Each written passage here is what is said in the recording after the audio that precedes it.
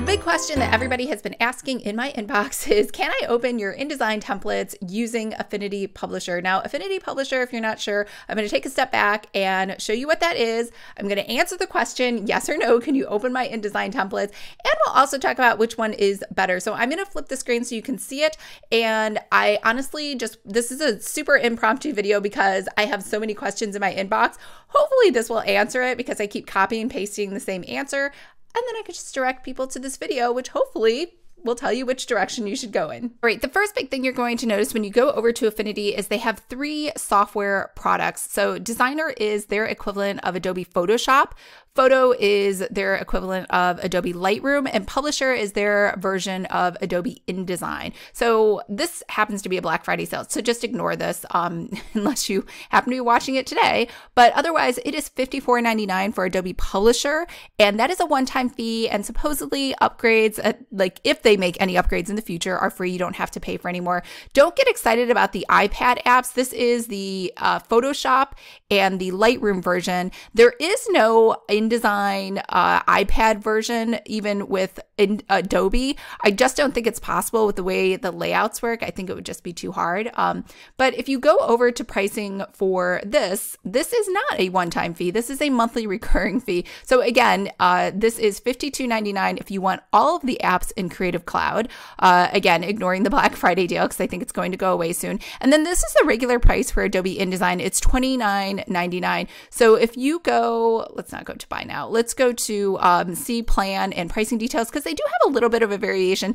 I believe this is a dollar less if I'm doing the math correctly. Um, 239.88 divided by 12. Yeah, so you only pay $19.99 per month if you do the annual prepaid and you do it all at once versus you just pay a dollar more extra per month if you want to pay monthly. And then this, I guess, has no contract, so they won't keep coming after you after the month and they'll only charge you 31 uh 40, 49 so like what is that a dollar um, no, like I guess $11.49 more or 50 cents more than the other one. So this is a monthly fee. I, you know, the big question is okay, two things I'm going to answer. The second question is can you open your InDesign files with Affinity?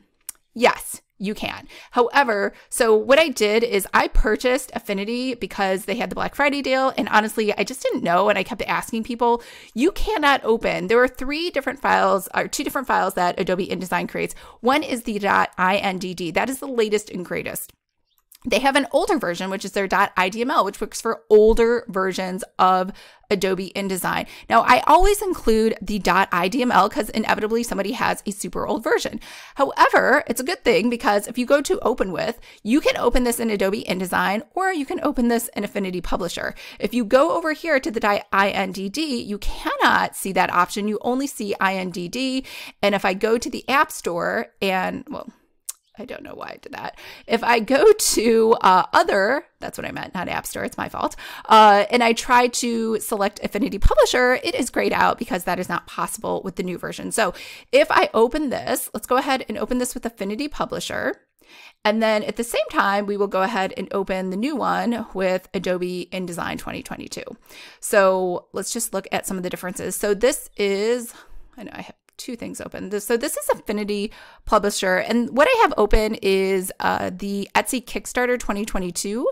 It's like the most popular uh, product in the shop because it is a full, um, a 2022 dated planner, and it is. Uh, it comes with all the social media you need to market it. So here's the biggest difference. So when I go here, I'm missing I, am missing actual words, right? So they're just gone. I don't know where they went. Um, if we go over to InDesign, let's skip that and let's go to View, Overprint Preview, and let's go to Pages. Let's look at the first page so we can see that. And there we go. Let me make this a little smaller. All right, so you can see it has like the background. Um, it's a, I'm gonna say it's like a sky with some like zigzaggy lines or cloudy lines in it.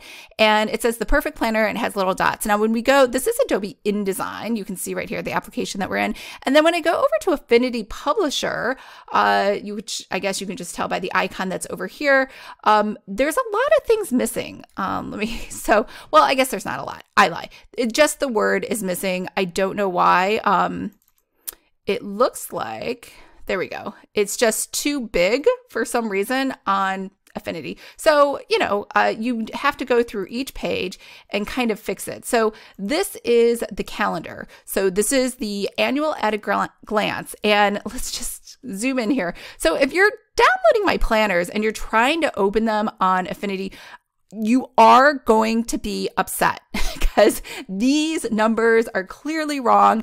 Um, and here's why it's the same thing as over here. The letters, for some reason, are not fitting inside the bounding box. So these are the correct numbers, but for some reason, it's done something weird with this table and it's just kind of resized everything. So this is supposed to be 10. This is supposed to be 11. This is supposed to be 12.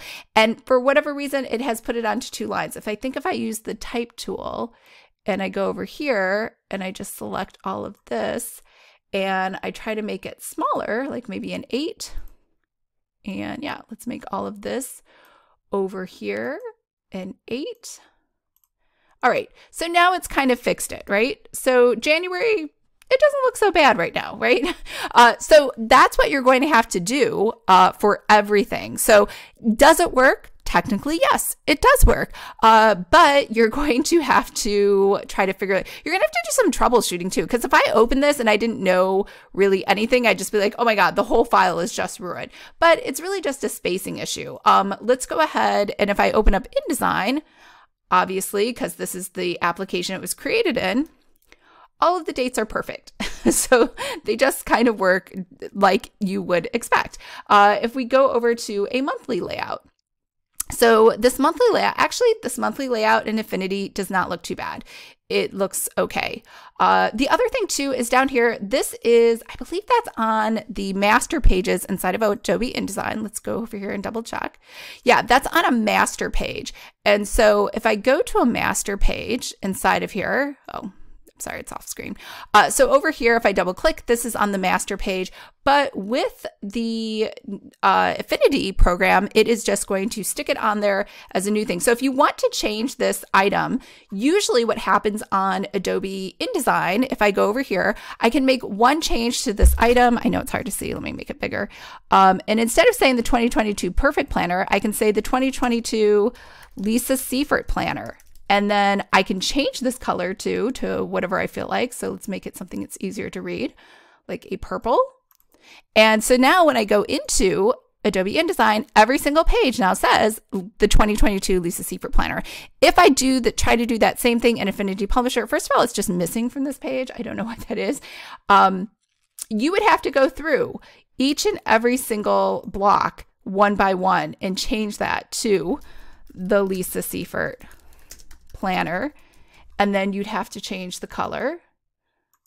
Uh, there we go. I guess to a purple. So now it's changed, but it's just changed once. I believe you'd have to just select this, copy it, and paste it again over here. So, you know, is it is it gonna work? Kind of sorta. I don't know. Let's go ahead and look at a weekly layout. So this is a really easy layout. This is a horizontal layout, so it's not too bad. Uh, and it looks like everything here came through perfectly. And if we go over to Adobe InDesign, everything over here is perfect as well, like you would expect for the weekly. So eh, my answer to you is which one is better? I honestly always think Adobe InDesign is better. First of all, you have master pages. I believe you don't have that over there. Uh, you have text overflow, uh, where in theory, this thing, the monthly, all of the dates, you just copy and paste it once, 1 through 31, and it automatically auto populates them.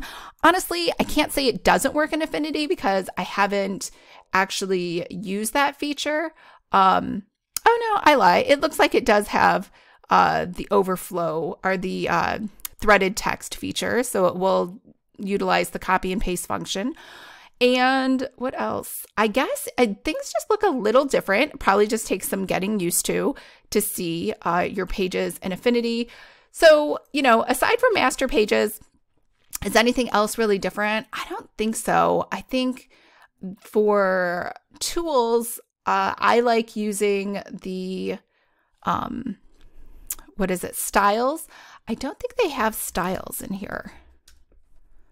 Uh, text styles. Okay we can use text styles. So I stand corrected. I'm sure you're like, Lisa, you don't even know. I don't know. I like, to be honest, I do not know anything about Affinity Publisher. Uh, and the question is, will I create things for Affinity Publisher? No. I will not. I will not be creating double duty. I still believe that InDesign is the far superior product.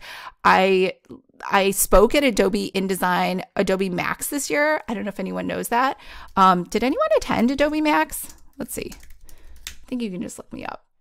Yeah, Adobe Max. This is, oh, this is different. I also was on their channel um, talking about digital planners, but I was also a speaker at their uh, conference this year at the Adobe Max conference. So I am very much team Adobe. I think they're a great company. I think they're doing cool things and it has a huge community. But, you know, I understand that other people want to aren't like hardcore Adobe fans and you might want Affinity. So the thing is, will I use Affinity? Again, the answer is no. Um, but my applications, my InDesign templates can be open inside of Affinity using an IDML file. So let's just try opening up something else. Let's open something with like some more pictures. Uh, how about the social media planner? I know I have so many files. Where is the InDesign? Here we go. InDesign files. Um, all right, so let's try opening up this with Publisher and just checking it to see how it looks. Okay, so inside Affinity, um, it looks a little different. I don't even remember. It's been so long since I made this. Let's see. Let's open it with InDesign. All right, so this is what it looks like inside of Adobe InDesign. And then over with Publisher, it looks about the same. Probably that text is, again, too large. So if we make it, I don't even know, 72. Nope, that didn't work. Uh, if we make the text 36, um, I don't know. Why does it say that? There we go. It's still way too big. Okay, so I need to make it 64. Ah, I don't know why that is. I don't know if this is, there's this 36 points, and over here in Adobe InDesign, how big is this? This is 93. I do not know why they are so vastly different, um, but let's look at another page. So here is another page, and we'll look at it in Affinity Publisher. It looks fine in Affinity Publisher. So for the most part, I think, you know, for regular files, it probably looks like it's fine.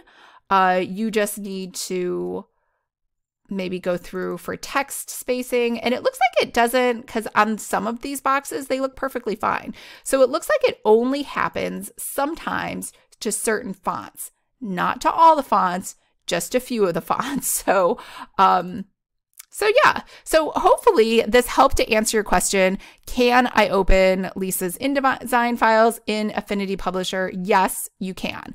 Will she design specifically for Indie Affinity Publisher. No, she will not. um, I really like InDesign, but it looks like honestly, this I swear this is the first time I have ever opened up Publisher. It looks pretty intuitive. It's not that hard to figure out. Let's move this panel to the right. So the panels kind of look the same. Here's Affinity, here's InDesign. You have your selector tools, both of them. You have a text tool. Uh, looks like this is a table tool. There is no table tool over here. Instead, the table is just at the top. Um, this one looks like it has a table tool as well. And over here, we have boxes. We can put frames in there. We can put shapes. It looks like Affinity just has less items it can do. And honestly, I don't even use half of the stuff inside InDesign. So um, you're probably fine if you're like, I only want to buy Affinity and I'm not going to buy InDesign. Um, then, you know, you could try switching, make the switch, see how it goes. And yeah, and actually let me know in the comments below if you like Affinity better than InDesign or you notice that there are some things missing. There are some people that did some more in depth videos like comparing the two, but I just wanted to do a comparison for my InDesign templates because that's all I care about. so I'm not doing magazine layouts. So hopefully that answered your question. I hope everyone's having a fabulous weekend. And I know this was long winded, but it was just kind of on the fly. And I wanted to just get it out there in case you were thinking about purchasing something so you had the information right away.